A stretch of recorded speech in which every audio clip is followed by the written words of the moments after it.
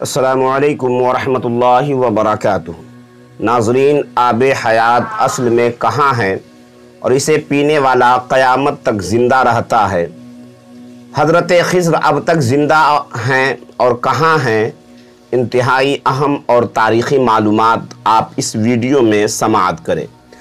ناظرین، حضرت خضر علیہ السلام کی کنیت ابو العباس اور نام بلیا اور ان کے والد کا نام ملکان ہے۔ بلیا سریانی زبان کا لفظ ہے، عربی زبان میں اس کا ترجمہ احمد ہے۔ خضر ان کا لقب ہے اور اس لفظ کو تین طرح سے لکھے جاتے ہیں اور سب کے معنی بھی ایک ہی ہوتے ہیں۔ یہ جہاں بیٹھتے تھے، وہاں آپ کی برکت سے ہری ہری گھاس اگ جاتی تھی، اس لیے ان کو خضر کہتے ہیں۔ ابو العباس بلیا بن ملکان، یہ حضرت خضر علیہ السلام اور حضرت ذوالقرنین کے خالازاد بھائی بھی تھے۔ حضرت خضر علیہ السلام حضرت ذوالقرنین کے وزیر اور جنگلوں میں علمبردار رہے ہیں۔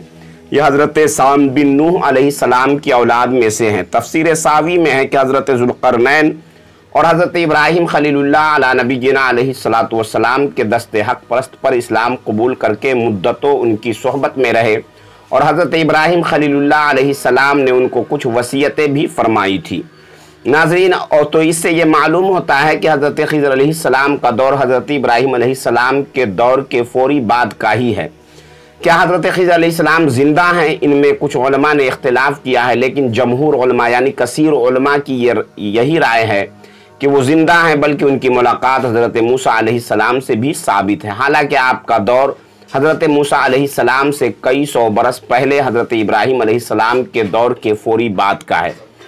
تفسیر روح البیان میں ہے کہ حضرت یوسف علیہ السلام جو کہ حضرت ابراہیم علیہ السلام کے پرپوتے ہیں، ان کے درمیان اور حضرت موسیٰ علیہ السلام کے درمیان چار سو سال کا فرق ہے۔ تو اس لحاظ سے حضرت موسیٰ علیہ السلام، حضرت خضر علیہ السلام سے تقریباً چھ سو سال بعد پیدا ہوئے ہیں۔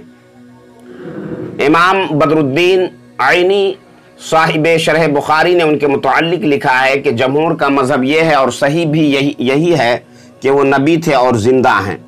امدت القاری اور دیگر کتاب میں بھی اس کا ذکر ملتا ہے۔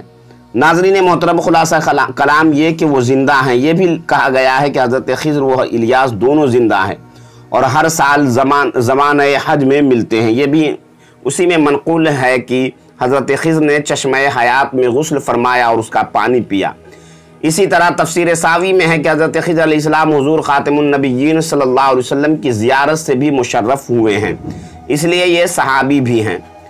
اسی طرح حضرت عمر بن عبدالعزیز رضی اللہ تعالیٰ عنہ سے بھی ان کی ملاقات ثابت ہے اور حضرت خضر علیہ السلام نے ان کو نصیحت بھی فرمائی تھی کہ اے عمر، رضی اللہ تعالیٰ عنہ، اس بات سے بچنا کہ تو ظاہر میں تو خدا کا دوست ہو اور باطن میں اس کا دشمن کیونکہ جس کا ظاہر اور باطن مساوی نہ ہو تو منافق ہوتا ہے۔ منافقوں کا مقام در کے اسفل ہے۔ یہ سن کر عمر بن عبدالعزیز یہاں تک کہ روئیں کہ آپ کی ڈاڑھی مبارک تر ہو گئی۔ اور بھی بزرگان دین نے ان سے ملاقات کا ذکر کیا ہے۔ آب حیات کی حقیقت آب حیات کیا ہے؟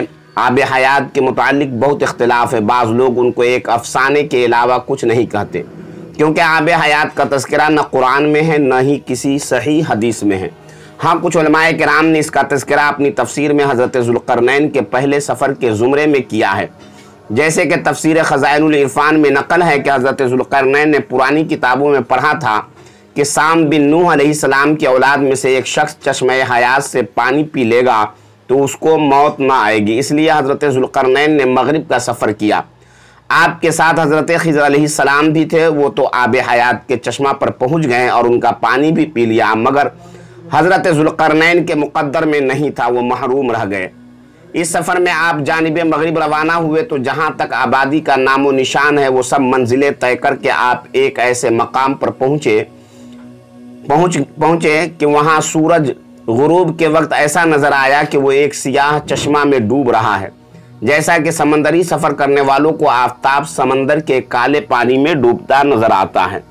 وہاں ان کو ایک ایسی قوم ملی جو جانوروں کی کھال پہنے ہوئے تھی، اس کے سوا کوئی دوسرا لباس ان کے بدن پر نہیں تھا۔ اور دریائی مردہ جانوروں کے سوا ان کی غذا کا کوئی دوسرا سامان نہیں تھا۔ یہ قوم ناسک کہلاتی تھی۔ حضرت ذوالقرنین نے دیکھا کہ ان کے لشکر بے شمار ہیں اور یہ لوگ بہت ہی طاقتیں اور جنگجو ہیں۔ تو حضرت ذوالقرنین نے ان لوگوں کے گرد گرد اپنی فوجوں کا گھیرا ڈال کر ان لوگوں کو بے بس کر دیا۔ چنانچہ کچھ تو مشرف بے ایمان ہو گئے، کچھ آپ کی فوجوں کے ہاتھوں مقتول ہو گئے۔ اسی طرح تفسیر خازن اور شیخ ابو عمرو بن صلاح نے اپنی فتاوہ میں فرمایا کہ حضرت خضر الیاس، حضرت الیاس جمہور علماء و صالحین کے نزدیک زندہ ہیں اور ہر سال زمانہ حج میں ملتے ہیں۔ اور یہ کہ حضرت خضر نے چشمہ حیات میں غسل فرمایا اور اس کا پانی بھی پیا۔ واللہ تعالی عالم۔ ناظرین، یہ کہ اہم معلومات جو ہم نے آپ کے سامنے پیش کی، میری گزارش ہے کہ اس ویڈیو کو آپ آگے بھی شیئر کریں۔